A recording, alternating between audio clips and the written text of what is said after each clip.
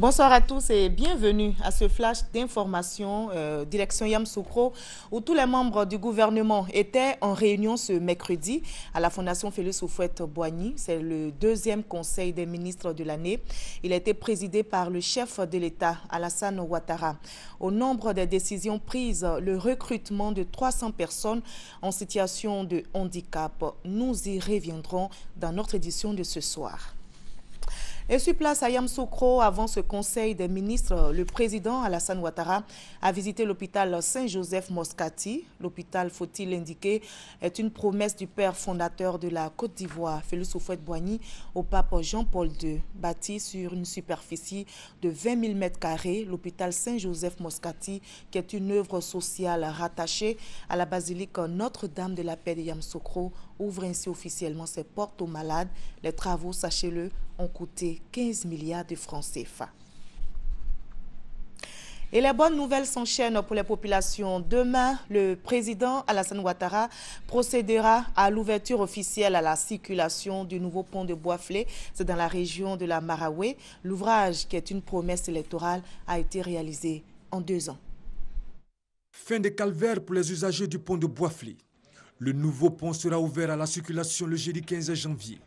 Une initiative qui sonne comme un cadeau de nouvel an pour les bénéficiaires. Aujourd'hui, avec ce pont, eh bien, ce serait la destination qui va être choisie par euh, les personnes qui voudraient vraiment euh, emprunter euh, cette voie-là, qui est devenue maintenant une belle voie. Et tous les véhicules passeront par ici. Notre ville sera connue et avec euh, son économie qui va prendre vraiment une autre allure. L'ancien pont que vous, voyez là, lorsque nous le traversons, il y en a même qui ferment les yeux, qui sont dans le camion. Ils ont peur. Il y avait la hantise ce pont qui vient d'être fait. Je suis très comblé, la population est comblée. Ce pont va porter le développement. Le nouveau pont de Boisfly est un ouvrage à poutre en béton précontraint de 120 mètres de long. Il est composé de quatre travées de 31 mètres chacune et repose sur cinq appuis fondés sur des semelles superficielles, y compris les voies d'accès. Il comporte une largeur de 7 mètres 50 et deux trottoirs de 1 mètre 25 chacun. Ce pont permettra d'accroître la fluidité du trafic routier entre Boisflé et les autres régions de la Côte d'Ivoire, de supprimer les files d'attente des véhicules au niveau de la traversée du fleuve Maraoué et d'améliorer la circulation des personnes et des biens. Un ouvrage qui va contribuer au désenclavement de la région de Boisflé. Ça va nous désenclaver. Boisflé est le gros producteur. Boisflé dessert la Côte d'Ivoire et même hein, les pays voisins en vivrier. Si on a ce pont-là, ben, nous sommes satisfaits. Quand je passe là-bas, je vois le pont, c'est que c'est le développement même de Boisflé. C'est le pont, on peut dire c'est Diao. Puis si ça vient d'Ibéria, ça passe là. Ça vient euh, Guinée, ça passe là. Ça vient Man, ça passe là. Ça va désenclaver des quartiers, des villages, des villes. Nous, on préfère aujourd'hui que ce pont-là puisse s'appeler le pont de l'émergence.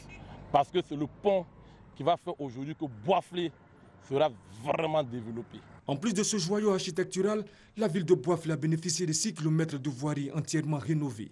L'ensemble de ces ouvrages a coûté environ 9 milliards de francs CFA. Les travaux ont duré deux ans.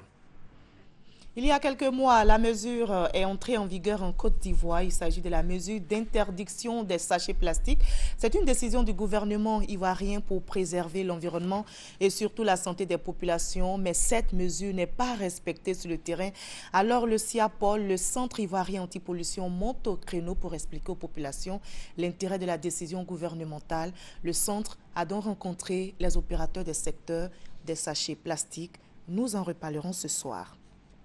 Et hors de la Côte d'Ivoire, au Nigeria, plus de 11 000 personnes ont fui au Cad après euh, la dernière attaque de Boko Haram, attaque qui a fait plusieurs morts. À peine arrivé dans les kiosques, le numéro 1178 de Charlie Hebdo a été arraché comme de petits pains. Euh, ce numéro, appelé numéro des survivants qui caricature le prophète Mahomet en une sous la bannière Tout est pardonné, est d'ores et déjà en rupture de stock. Habituellement tiré à quelques dizaines de milliers d'exemplaires, Charlie Hebdo sera finalement imprimé cette semaine 5 millions de fois les 3 millions initialement prévu étant manifestement en deçà de la demande. Et dans une euh, euh, vidéo mise en ligne aujourd'hui même, Al-Qaïda dans la péninsule arabique a revendiqué la tuerie perpétrée il y a une semaine au cœur de la rédaction du journal Charlie Hebdo. L'enquête toujours en cours avait déjà déterminé la filiation entre les frères Kouachi et la branche yéménite d'Al-Qaïda. Voilà, avant de nous séparer, rappelons ce rendez-vous. Nous aurons EcoPlus. Notre dossier s'intéresse aujourd'hui à la filière Anacad. Une interrogation, quel défi pour l'industrialisation? Rendez-vous ce soir à 20h.